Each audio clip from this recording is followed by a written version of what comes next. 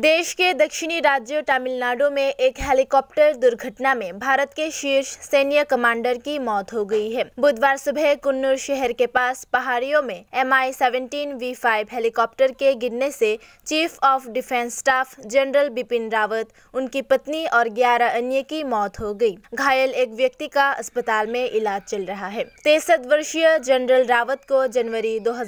में भारत का पहला चीफ ऑफ डिफेंस स्टाफ नियुक्त किया गया था ये सेना नौसेना और वायुसेना को एक साथ लाया और जनरल रावत भारतीय प्रशासित कश्मीर सहित कई ऑपरेशनों के प्रभारी थे भारतीय वायुसेना ने कहा कि उसने कोहरे के मौसम में हुई दुर्घटना की जांच के आदेश दिए हैं प्रधानमंत्री नरेंद्र मोदी की अध्यक्षता में एक कैबिनेट सुरक्षा समिति एक आपातकालीन सत्र आयोजित कर रही है ट्विटर पर श्री मोदी ने कहा जनरल रावत अपने साथ सेना में सेवा करने का एक समृद्ध अनुभव लेकर आए भारत उनकी असाधारण साधारण सेवा को कभी नहीं भूलेगा एक सच्चे देशभक्त उन्होंने हमारे सशस्त्र बलों और सुरक्षा तंत्र के आधुनिकीकरण में बहुत योगदान दिया रणनीतिक मामलों पर उनकी अंतर्दृष्टि और दृष्टिकोण अपवाद थे उनके निधन से मुझे गहरा दुख हुआ है मोदी ने ट्वीट किया